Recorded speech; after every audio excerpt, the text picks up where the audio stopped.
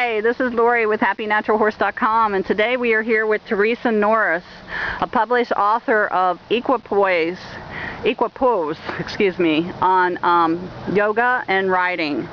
And this is her horse Jewel and um, she is has been around horses for the last 20 years and Teresa wanted to share her story about going natural.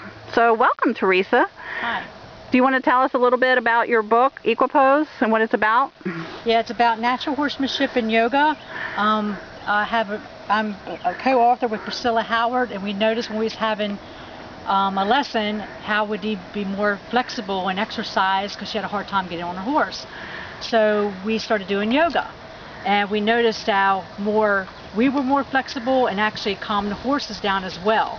So we decided to write this book, and we actually put natural horsemanship in there, how to feed your horse. Um, you name it's in the book, even how to stretch your horse too out. And could you open the book and show us the uh, step-by-step -step program? Oh look, Jewel says, oh yes, show me, I like it. Yeah, she wants to eat the book. Um, actually, we have chakras on the horses too. So turn it around? And we oh wow. Actually, some with a simulated horse where you don't need to have a horse to do yoga if you're really scared of a horse, or you can do yoga on your horse. So we did it both ways. And we even have directions in here how to make your own. So it's really nice. We have a lot of pictures, so it's easy for you to understand step by step. And you talk about the chakras too, right? Yes. And um, the chakras in the horse.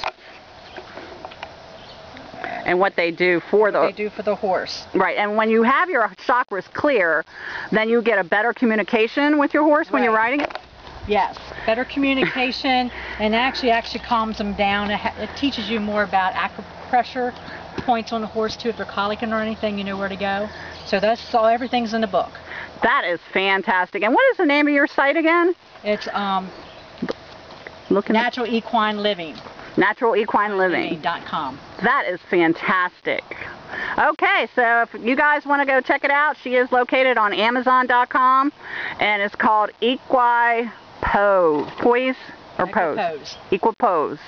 And you can learn how to do the yoga stretches and relax with your horse. It's a great book. It's a it's a, a great thing to have in your tack room.